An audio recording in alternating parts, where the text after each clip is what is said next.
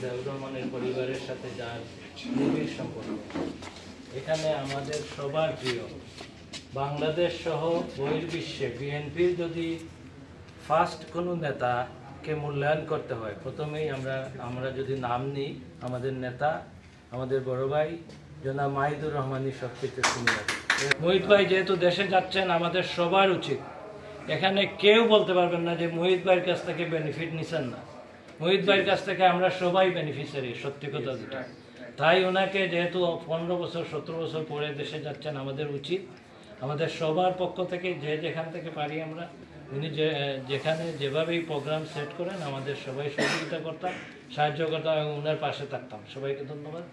জনাব মাহিদুর রহমান ভাইয়ের সঙ্গে আমার সম্পর্ক প্রায় ত্রিশ বছর যাব আমি ওনাকে অত্যন্ত শ্রদ্ধা করি সম্মান করি উনিও আমাকে স্নেহ করে তা আমি আজকের এই সভা থেকে আমি মহান রাব্বুল আলমিনের দরবারে আল্লাহ পাকের কাছে প্রার্থনা করি যাতে মাহিদুর রহমানের স্বদেশ গমন সুন্দরভাবে হয়, সেটা কামনা করি এবং উনি যাতে আবার দেশে গিয়ে মানুষের কল্যাণে কাজ করতে পারেন সেটা আল্লাহ রাব্বুল আলমিনের দরবারে প্রার্থনা করি এবং ভালোভাবে যাতে আমাদের মধ্যে আবার ফিরে আসেন, সেটা কামনা করে সবাইকে আমার ব্যক্তিগত পক্ষ থেকে ধন্যবাদ জানিয়ে A true leader does not separate people. A true leader brings people together. And this is the kind of people, the prime example is Mahidur Rahman Muhit Bhai. I believe he is a man of profound wisdom and integrity, honesty. আমি এই দেশে দীর্ঘদিন থেকে আছি কিন্তু আমি এখন পর্যন্ত অনেক পলিটিক্যাল ব্যক্তি সম্পর্কে নেগেটিভ কথা আমরা নিজেরা পলিটিক্স করি টাও হামলেটসে পলিটিক্স করি ইউকের মেইন স্ট্রিমে পলিটিক্স করার কারণে, মানুষের কাছে ভোট চাওয়ার কারণে বিভিন্ন জায়গায়, দরজায় দরজায় গিয়েছি। কিন্তু মহিদুর, মাহিদুর রহমান সাহেবের বিরুদ্ধে আমরা কোনো, আমি লিস্ট কোনো কথা শুনি নাই। এই কারণে উনার কথা শোনার সাথে সাথেই আমি আজকের এই অনুষ্ঠানে অংশগ্রহণ করেছি। I am very proud to be here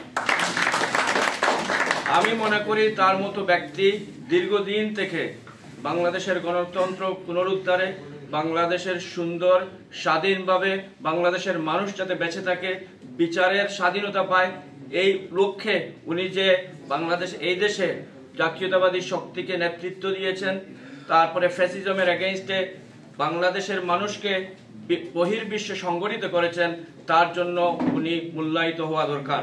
আমরা মনে করি যে বাংলাদেশ তাকে মূল্যায়িত করবে, বিএনপি সিনিয়র নেতৃবৃন্দ ওনাকে মূল্যায়িত করবেন।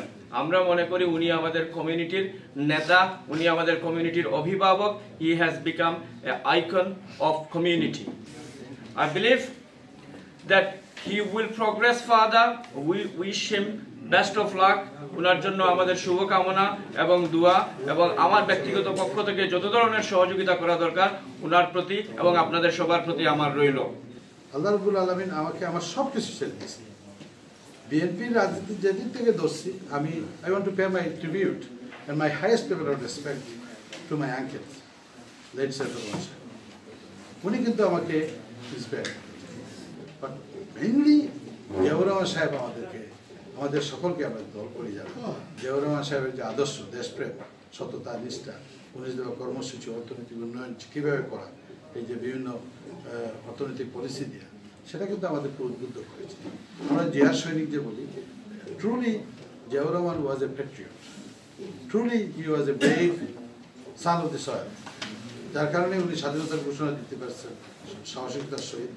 এবং উনি যখন দায়িত্ব নিলেন রাষ্ট্র পরিচালনা সেখানেও কিন্তু অত্যন্ত সততা এবং দেশপ্রেম নিয়ে রাষ্ট্র পরিচালনা করেছেন, যার কারণে উনি সফল হতে পেরেছেন। Within a very short period ওনার যে পলিসি যেটা ছিল যে he choose the right people from the community from the nation and he pick them up and put them in a right place যোগ্য মানুষকে চুজ করে যোগ্য জায়গায় উনি দিতেন। যার কারণে আমি যেটা বলি যে if you have a bad company surrounding you you are bound to go fail সাতাশে জুলাই থেকে ফিফথ আগস্টে এটা পরিপূর্ণতা লাভ করেছে। এখানে নেতৃত্ব দিয়েছেন আমাদের নেতা জনাব তারেক রহমান সাহেব। এবং এই যে বৈষম্য বিরোধী ছাত্র আন্দোলন, কোটা বিরোধী আন্দোলন যে, এই ছাত্র সমাজকে কিন্তু ইনি বিভিন্নভাবে ওনার ছাত্র দল দিয়ে সহযোগিতা করেছেন, তাদেরকে উৎসাহিত করেছেন, উজ্জীবিত করেছেন। নেতা ঘরে, এই লন্ডনে বসে বসে ঘরে থাকেন নাই মানে নিরলসভাবে কাজ করে ইয়ে করেছেন। এই জন্য আমি we are proud nation that we have a Rahman সাহেবের ফ্যামিলি আমাদের আহ, রাজনীতিতে আছে রাষ্ট্র পরিচালনায় আছে। আমি যতটুকু করছি I given my best of everything for the party Ziaur Rahman Sahib বলছিলেন দুইটা কথা। দলের একজন সমর্থক হিসাবে দলটাকে আপনি কি দিতে পেরেছেন সেটা ভেরি ইম্পর্টেন্ট দল আপনাকে কি দিল সেটা নিয়ে ভেবে লাভ নেই। আর দেশের একজন সক্রিয় নাগরিক বা সঠিক নাগরিক হিসাবে দেশটাকে কি দিতে পেরেছেন সেটা ইম্পর্টেন্ট দেশ আপনাকে কি দিল সেটা তো বলে ইউ ক্রিয়েটেড হিস্ট্রি আপনি নিজে ইতিহাস তৈরি করেন। উনি ইতিহাস তৈরি করেছেন। উনি দেশকে দিয়েছেন। দলের দল তৈরি করে জাতিকে উপহার দিয়েছেন।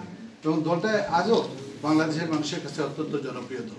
সবচেয়ে বৃহত্তর একটি জনপ্রিয় দল এই সাউথ এশিয়ার জনগণের কাছে অত্যন্ত প্রিয় দল।